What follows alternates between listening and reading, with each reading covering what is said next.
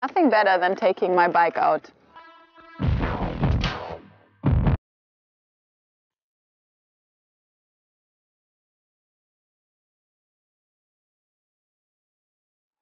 If I want to recharge my batteries, I go out into the nature. I like to bike or to jog, but the most important thing is to enjoy and have fun.